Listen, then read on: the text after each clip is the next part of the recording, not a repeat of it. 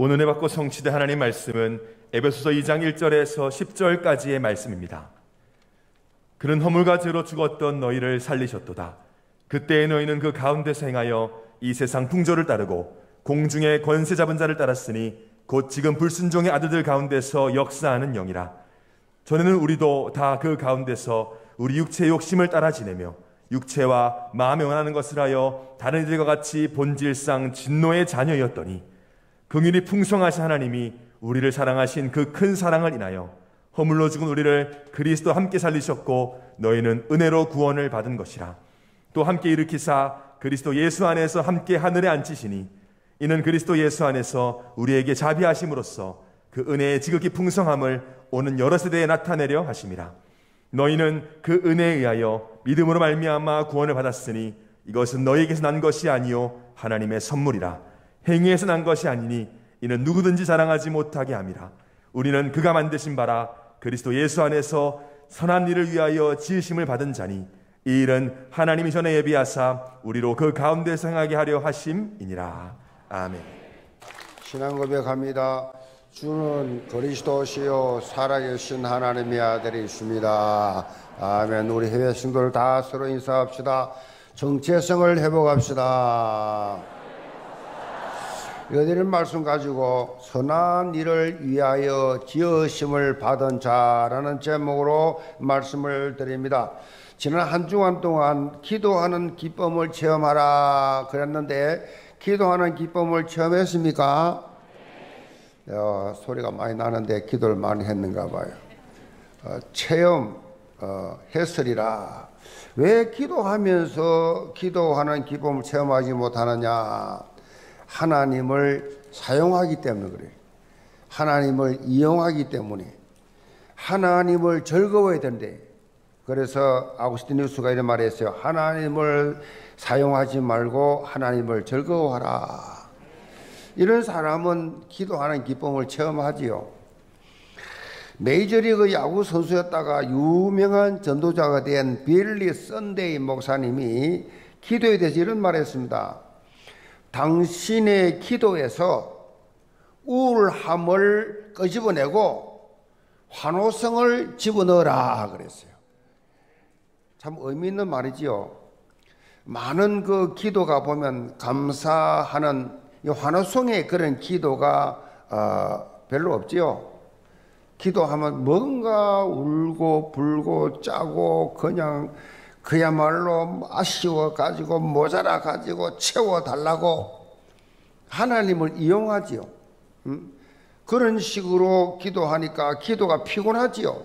제가 옛날에 저 강원도 산골짜기에 대천, 대천덕 신부라고 유명한 그러한 어, 분이 있어서 찾아갔어요. 명절날 눈이 펑펑 쏟아지는데 찾아가는데 어? 그때 집 사람하고 갔어요. 강원도 골짜기를 갔는데 그 입구를 딱 보는데 기도는 노동이라 크게 써놨어요. 깜짝 놀랐어요. 기도는 노동이다. 그만큼 힘들다는 거지요. 그 이상하다. 기도는 노동이 아니라 기쁨이에요. 어, 누림이라고. 그러니까 응답을 못 받지요. 들어가니까 하루에 국수 몇 그릇 뭐 얼굴이 참 뭐 말라가지고 뼈만 남아가지고 앙상해가지고 그 대통령 신부는 밤에 무섭게 생길 정도로 뼈가 뼈만 남. 야 진짜 고생 많다. 고생 많아. 그게 종교예요 종교. 어? 인격적으로 많이 훌륭한 분이지만은 그 종교라고. 그거 아니에요. 복음은 누림이에요. 그렇게 여러분 복음 속에 있는 그 우울함을 다 끄집어내세요. 기도할 때 하나님 감사합니다. 어? 뭐 주세 주세 그래 하지 말고 하나님 이 시대의 복음을 알리하심을 감사합니다. 이 복음의 감격 속에 살게 하여 주옵소서. 어? 하나님 들어도 기분 좋아야지. 이 자식이 집에 오면 맨날 아빠 엄마 보고 얼굴 찡겨려 가지고 그냥 막 공부 안 된다 그러고 친구가 괴롭힌다 그러고 내가 돈이 없다 그러고 매일 울고 맨날 360을 그러면 그 자식 보고 보고 싶겠어요? 아빠 오늘 내가 100점 받았어. 아빠 내 오늘 내가 신나게 내가 발표해서 내가 완전히 내가 주인공 돼서 그 두 소리 들으면 부모 기분 좋잖아요. 안 좋아? 해봤어야 알지. 그러니까 여러분 오늘부터 여러분 그 우울한 수준을 넘어서서 이제 하늘 보좌 축복을 누리는 차원이 다른 기도가 시작되길 바랍니다. 성삼위 하나님께서 이미 주신 heavenly blessing, 어? heavenly power, 어? heavenly mission, heavenly talent 이 모든 축복 이 무슨 말입니까? 전부 통틀어. 그 복음의 그리스도의 높이와 깊이와 길이와 넓이를 그렇게 좀 알아서 풍성하게 음, 충만하게 체험하는 언약 기도의 사람들 되시길 바랍니다. 사도 바울은 이 본문을 통해서 에버시 장에서 우리가 하나님께로부터 받은 영적 지위, 영적 지위, spiritual 이 포지션, 영적 지위 이것에 대해서 눈을 열어주고 있습니다. 지금 우리에게 주어진 영적 지위를 깨닫는 것이 뭐냐? 신앙생활에 아주 중요해요. 영적 지위, 나의 신분이 어떻게 변화됐는지 제대로 깨닫지 못하면 이미 주어진 heavenly blessing을 사실적으로 맛을 보지를 못해요. 사도 바울은 우리의 이 변화된 신분이 오늘 제목입니다. 설교 제목입니다. 선한 일을 위하여 지으심을 받은 자다. 너는 선한 일을 위해서 지으심을 받은 자라는 신분의 이 확실한 증거를 주고 있습니다. 영계 모든 성도들 오늘 말씀 통해서 변화된 신분에 걸맞는 그래서 삶을 사는데 어떻게 살아야 되는지 답을 얻고 하나님의 선한 일을 향하는 데 있어서 최고로 쓰임 받기를 제물로 축복합니다. 그럼 첫째로 재창조 인생입니다. 1절 봅니다. 그는 허물과 죄로 죽었던 너희를 살리셨도다. 자, 사도 바울은 우리의 과거 이 과거가 허물과 죄로 죽었던 상태에 있었는데 이 말이 무슨 말입니까? 허물과 죄로 죽었다. 영적으로 죽었다. 육체의 죽음은 영혼과 육체가 분리되는 것을 죽었다 그렇게 말하죠. 영적인 죽음은 뭐냐? 하나님과 분리된 상태. 하나님과 내가 분리된 상태. 허물이란 것은요, 원어적으로 들어가지 말아야 할 땅에 들어가는 것을 말합니다. 들어가지 말아야 할 땅에 들어간 것. 다시 말해서 하지 말아야 될 일을 하, 는 것. 음? 이걸 허물이라 그래요. 그리고 죄라는 것은요, 화살이 관역을 제대로 맞춰야 하는데 거기를 빗나갔다 하말티야 빗나갔다 해야 될 일을 해야 되는데 하지 않아야 될 일을 하는 거. 어? 이 다시 말하면 이게 죄다. 다시 말해서 허물과 죄는요, 하나님께서 원래 인간에게 주었던 영적 질서를 벗어나게 만들었다. 벗어나 버렸다. 하나님 앞에 하지 말아야 될 일을 하고 하지, 해야 할 일을 하지 않는 그런 정격우리 같은 행동을 인간이 한 것이고 지금 또 반복하고 있다. 자, 이 일을 맨 처음에 한 사람이 아담이고 아담의 후손인 모든 인류는 다 이 문조석에 빠져버렸다는 것입니다. 범죄한 그 순간부터 죄인은 이 인간의 이 죄인된 인간의 거룩한 하나님과 함께 할 수가 없게 되고 하나님 떠나게 돼. 영적으로 죽게 되는 이렇게 하나님과의 분리된 것을 영적으로 죽은 상태, 죽은 상태. 불신자는 다 죽은 상태. 예배한 여러분은 다 살아난 상태고 불신자는 죽은 상태, 하나님 없으니까 죽은 상태. 바울은 계속해서 이런 영적 상태에 있는 삶의 모습을 우리에게 구체적으로 설명해 줍니다. 2절입니다. 그때의 너희는 그 가운데서 행하여 이 세상 풍조를 따르고 공중의 권세 잡은 자를 따랐으니 곧 지금 불순종의 아들들 가운데 역사하는 영이라 전에는 우리도 다 그 가운데 우리 육체 욕심을 따라 지내며 육체와 마음에 원하는 것을 하여 다른 이들과 본질상 진노의 자녀였더니 바울은 영적으로 죽어 있는 상태에 있는 자들의 특징을 세 가지로 그렇게 설명을 하고 있죠. 첫째는 이 세상 풍조를 따르는 삶을 산다. 그 말이에요. 하나님을 떠난 인간은 자연스럽게 세상 풍조를 따르게 돼 있어요. 하나님 말씀이 기준이 된 삶이 아니고 세상 가치관, 세상이 기준된, 기준이 된 세상 문화를 사랑하고 그것을 쫓아 살아간다. 두 번째는 공정못에 잡은 자, 곧 사단 마귀, 종로로 타며 살아간다. 세 번째는 육체 요심 따라 생활한다. 이 사도 바울은 이런 세 가지 특징을 간단히 요약해서 이걸 통틀어 본질상 진노의 자녀, 본질상 진노의 자식. 이렇게 표현했습니다. 근본적으로 하나님의 진노를 받아서 영원한 멸망길로 갈 수밖에 없는 운명에 빠진 것이 하나님 떠난 인간, 하나님을 예배하지 않는 인간, 하나님을 모르는 인간이다. 이것이 뭐요? 과거 우리의 모습이었잖아요. 이런 삶의 특징이 사단의 12가지 영적 흐름을 따라가는 것입니다. 사단이 뿌려놓은 12가지 흐름, 장세기 3장 사건 이후에 인간은 그야말로 하나님이 뭡니까? 사단이 준 것으로 각인돼 버려서 사단이 준 것으로 하나님 떠난 인간. 이 사단이 12가지, 12가지 이 네프림 전략으로 인간의 속성을 확 그냥 음, 만들어 버렸어요. 이것은 하나님의 창조 원리와 완전히 다른 것으로 성삼위 하나님과 소통해야 되는데 오히려 사단과 소통하고 있어. 하나님을 예배해야 되는데 도리어 세상 풍속, 귀신들과 마귀들, 그야말로 이 접신 운동, 지금 전 세계를 잡고 있는 게 네피림 운동, 네피림 운동, 3단체, 뉴에이지, 명상 같은 것으로 전 세계 확산되어 가고 있어요. 명상하라. 너가, 너가 하나님이야. 사단의 속삭임이죠. 명상하면서. 정말 기분 좋은 소리입니까? 이런 사단의 12가지 영적 흐름을 세 분류로 그렇게 나눌 수가 있어요. 먼저 사람 중심의 생각입니다. 모든 세상 문화는 사람 중심이에요. 사람 중심의 생각. 장세기 3장의 자기 중심, 장세기 6장의 물질 중심, 장세기 11장의 세상 성경 중심의 삶을 말하지요. 두 번째로 우리를 미혹하게 하는 세 가지가 있는데 그것이 뭐냐? 사도행 13장의 무속, 사도행 16장의 점술, 사도행 19장의 우상 문화를 이제 가지고 마지막으로 우리 눈을 어둡게 하는 것이, 것이 있는데 여섯 가지죠.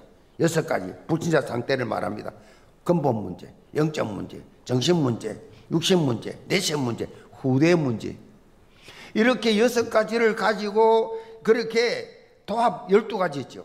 이 인간을 영원한 멸망길로 가게 만드는 사단의 영적 흐름, 영적 흐름을 쫙 지금 거의 다 세상 사람들은 그렇게 사단 시킨 대로 끌려 쫙 가고 있습니다. 사실 이것은요, 범죄한 인간 스스로 절대 해결할 수 없고 이 저주에서 빠져나올 수가 없어요. 깨달으려 그러면 뭔가 더 깊이, 더 높이 빠지듯이 뭔가 나름대로 철학을 하고 뭔가 명상을 하면 할수록 더 깊이 처참한 상태 속에 빠지게 되어 있습니다. 인간 노력 안 돼요. 어떤 담배 꼴초가 담배를 꺼내보려고 언단을 하루에 두 통씩 먹었다고 합니다. 음, 먹었어요. 그런데 두 통씩 계속 먹으니까 언단 중독자가 되었어요.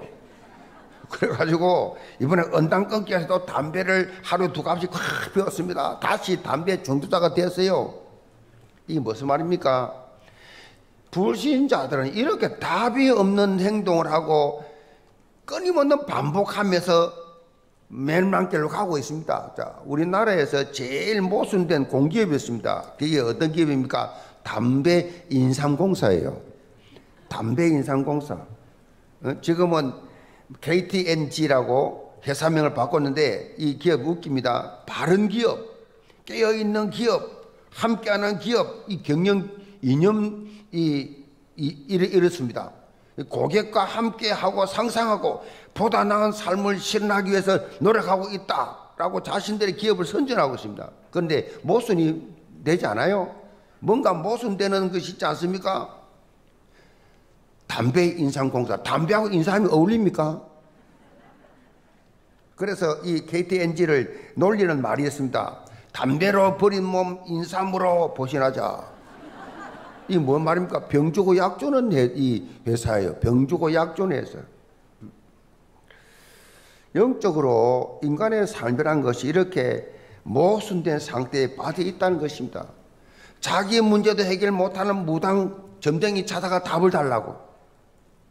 그게 답입니까? 시간 흐를수록 심각한 문제에 더 빠지게 되지요. 하나 문제 해결되면 또 문제가 생기고 또 하나 해결됐나 싶으면 또 하나 문제 생기고 하나님 떠난 인간의 삶이 그렇습니다. 그런데 이런 상태에 있던 우리에게 극적인 반전이 일어납니다. 4절입니다. 극률이 풍성하신 하나님이 우리를 사랑하신 그 큰 사랑을 인하여 허물로 죽은 우리를 그리스도와 함께 살리셨고 너희는 은혜로 구원을 받은 것이라 또 함께 일으키사 그리스도 예수 안에서 함께 하늘에 앉히시니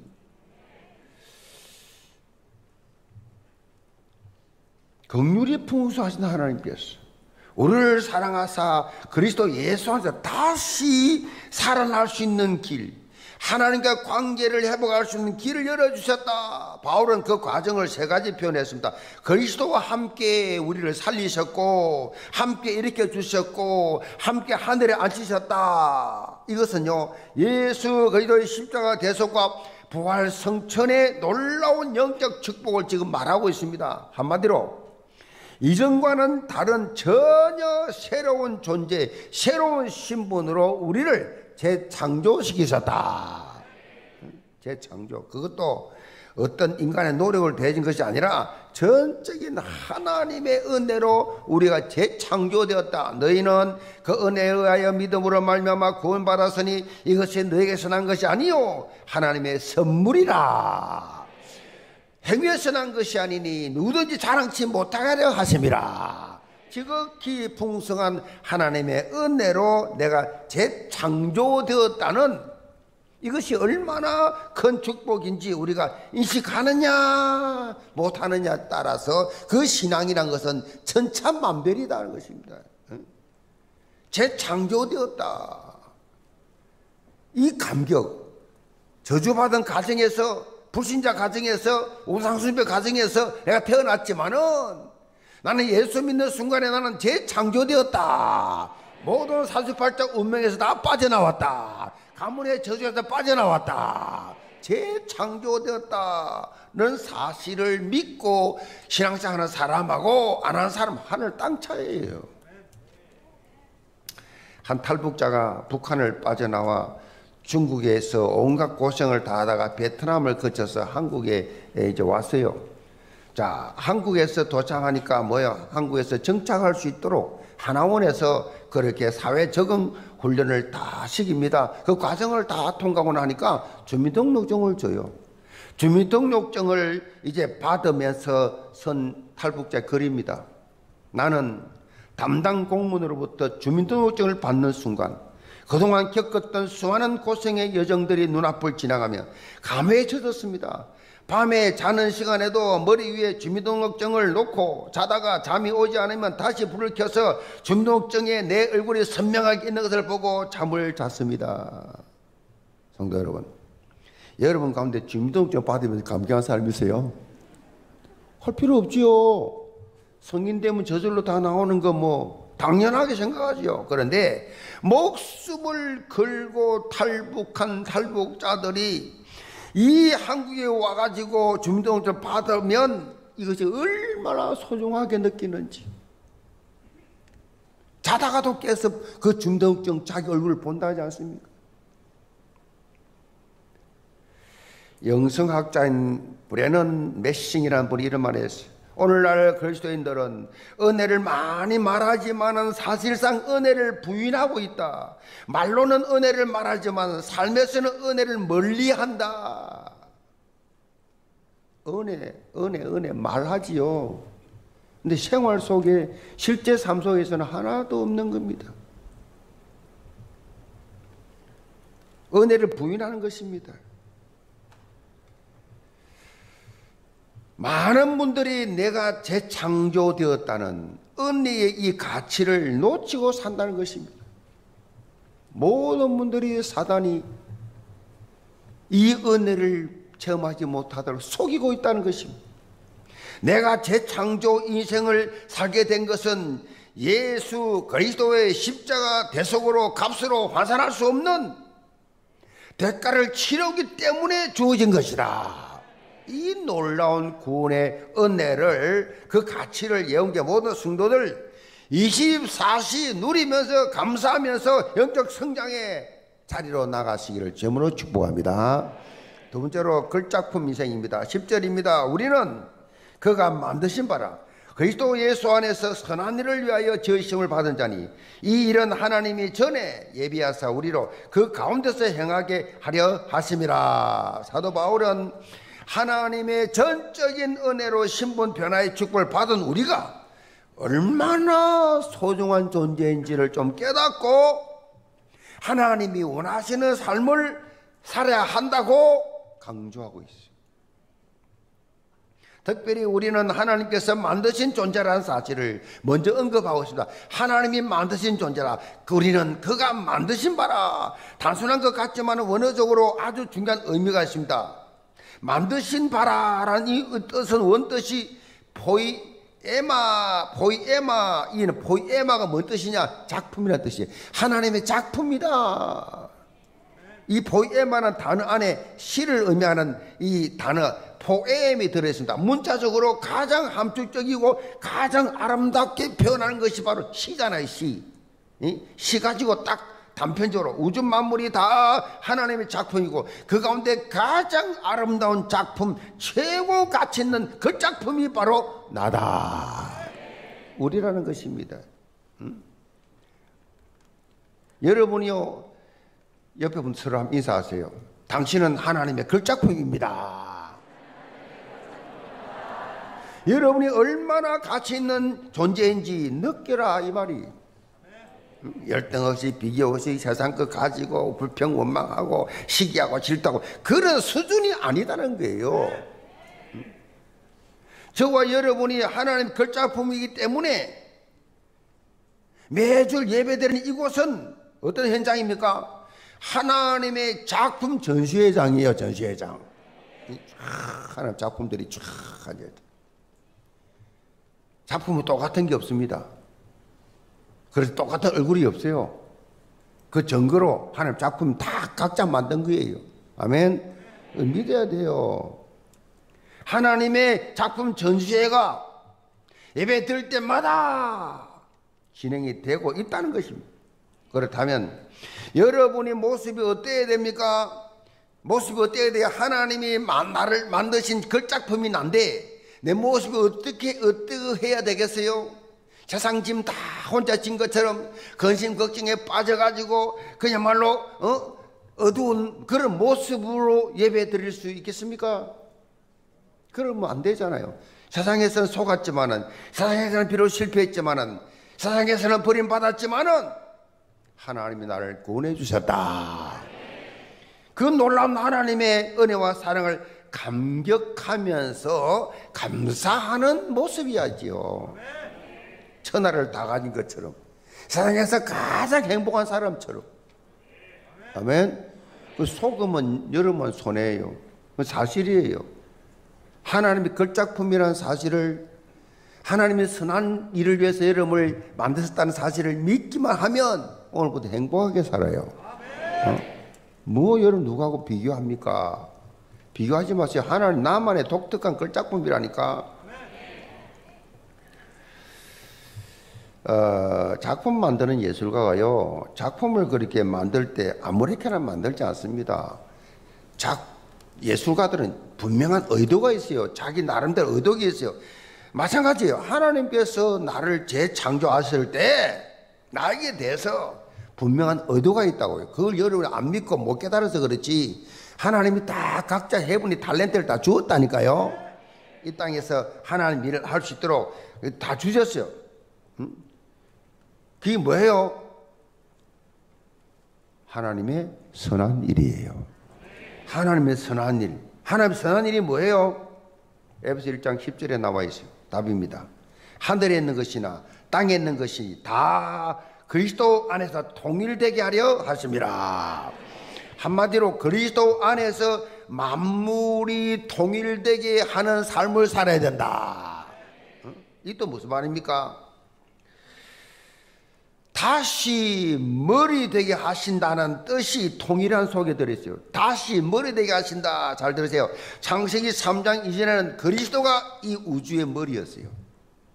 그리스도 머리였는데 창세기 3장 사건 이후에 하나님의 창조 주시가 깨져 버렸어. 결과적으로 전적 타락한 인간은 어떻게 해요? 그리스도가 머리였는데 자기가 머리야. 내가 최고 될 거야. 내가, 내가, 내가. 스스로 자기가 주인이야. 아, 그리스도가 주인인데 자기가 주인이야. 자기가 머리야. 요렇게 마음대로 살도록 사단이 딱 창조 질서를 흩뜨려 버렸어. 이런 비정상 상태를 영적 정상 상태로 다시금 회복시키는 것이 하나님의 선한 일을 행하는 것이다. 그 말이. 예수 그리스도를 우리가 개인적으로 또 가정과 교회와 사회에 다시 그리스도를 머리되게 하는 역할을 감당하는 것이 천명, 소명, 사명이다. 이것을 간단하게 요약하면 전도와 선교를 말합니다. 2, 3, 7 나라 5천 종족 복음의 미션을 실현하는 것이 그리스도가 머리되게 하는 것이다. 이것이 하나님의 선한 일이다. 제가 지난 금요일 날 청년회에서 준비한 237 정탐 보고서 그것을 제가 보고받았어요. 제가 청년회 특강하면서 이 미션을 전달하는데 일사불란하게 움직여가지고 완성을 했습니다. 책은 다섯 권. 책을 다섯 권 예쁘게 만드는데 9월 말에 나오는데 이것을 책 다섯 권 만들었어요. 그런데 하다 보니까 이것이 계속해서 발전되고 변화되기 때문에 업그레이드 해야 되는데 책은 당장 그 시간표에 정보는 되어도 업그레이드되는 시간표 안 되니까 앱을 만들어야 된다. 앱. 이 엄청난 캐파에 보니까 자, 이 정담 보고서를 앞으로 237 성교 이제 나라별 로드맵을 세우는 기초가 될 것입니다. 이 정탐 보고서를 바탕으로 현장 전략을 수립하는 추진해 나갈 것입니다. 물론 미비한 부분은 계속 업그레이드 할 것입니다. 237 나라 5천 종족 복음을 향한 복음 열정을 가지고 영 공동체가 오랜 집중해 나가야 한다.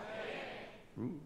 하나님께서 우리에게 주신 성교 주도권을 놓치면 안 돼요. 영변의 성교를 위해서 세워진 교회예요. 본격적으로 헌당 이후에 이제 세밀하게 구체적으로 천명, 소명, 사명을 그렇게 이제 굳게 붙잡고 2, 3, 4라 이 복음화의 실현의 주역들로 쓰임받는 걸작품 인생 다 되기를 점으로 축복합니다. 결론입니다. 유엔 식량 농업기구 FAO 보고서에 따르면 기후와 환경 변화 등으로 사막의 메뚜기 떼가 기승을 부리는 일들이 자주 발생하고 있다고 합니다. 뉴스를 보아서 아시겠지만은 이 사막 메뚜기 떼들은 메뚜기 종족 중에서 가장 파괴적인 그런 종류인데 어느 한 지역에만 있는 것이 아니고 주로 아프리카를 지역 중심으로 해서 그냥 말하면 큰 피해를 주는데 인도, 파키스탄, 아시아 중국에까지 그렇게 어, 막 날아다니면서 이 엄청난 어, 해를 끼치고 있다라는 얘기예요. 어떻게 손가락 사람의 손가락만큼밖에 안 되는 이 메뚜기가 대륙을 횡단해서 어떻게 그런 영향을 입힐 수 있느냐? 그 답이 뭐냐? 기류입니다. 기류. 기류를 탑니다. 이 메뚜기 떼들이. 이 사막 메뚜기는요, 하루에 200km의 기류를 타고 이동을 하면서 해발 2000m까지 그렇게 올라가면서 고도에서 나른다고 합니다. 기류 타고 기류를 타고. 제가 왜 이 말씀드립니까? 우리가요, 하나님의 선한 일을 행하기 위해서는 우리의 힘과 우리 수준으로는 할 수가 없어요. 우리는 아는 것도 없고 가진 것도 없고 무슨 뭐 정복 뭐 모릅니다. 아는 게 없습니다. 할 수 없어요. 어떻게 우리나라가 우리나라 감히 우리가 2, 3, 7 나라 5천 종족을 복음 합니까? 그래서 중요한 것이 뭐냐? 기도하세요.